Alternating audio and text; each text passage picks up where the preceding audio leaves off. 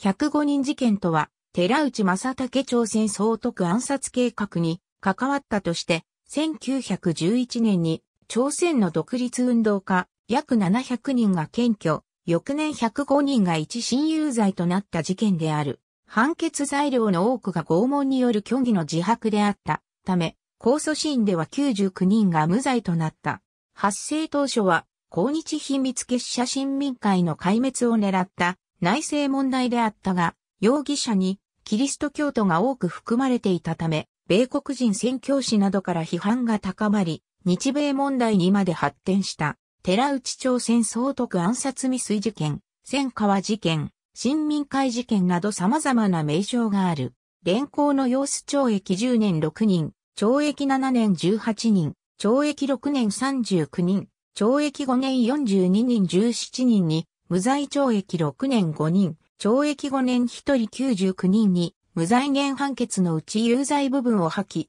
事件を、テグ福審法院に移送懲役6年員、松室博士、両北区、安泰国、李昇、林市政、玉館、明上国棄却1914年5月24日、原刑令により、懲役が1、4円刑される。1915年2月13日、6人釈放。初代朝鮮総督に就任した寺内正武陸軍大臣は、憲兵警察制度の実施に象徴される武断統治を行った。1910年12月、朝鮮北西部の平壌、仙川、新ウイジュなどを視察。1911年、別の事件の容疑者から視察中の次男を暗殺する計画があったという情報を入手した朝鮮総督府は、同年9月までに約700人の朝鮮人を逮捕した。1912年、証拠不十分で釈放された者以外122人への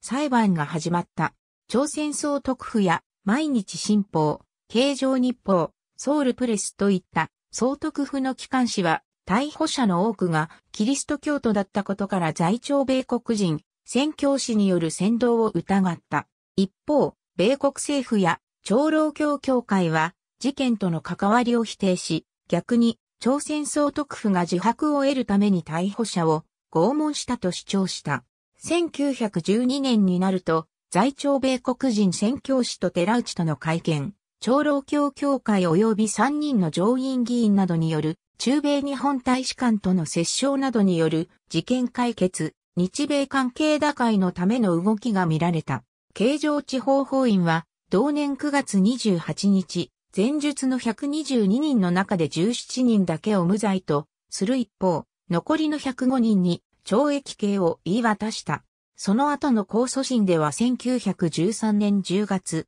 105人の中で99人が無罪を言い渡された一方、イン・イタスゾラなどの6人は懲役刑が確定したが、その6人も1915年2月、大正天皇の即位式にちなんだ恩赦によって釈放された。イン・イタスゾラはこれ以降、日本の朝鮮統治を容認し、いわゆる新日派になった。寺内暗殺計画はなく、105人事件は日本側による捏造だったという主張もある。1919年の3.1運動への影響が指摘されている。ありがとうございます。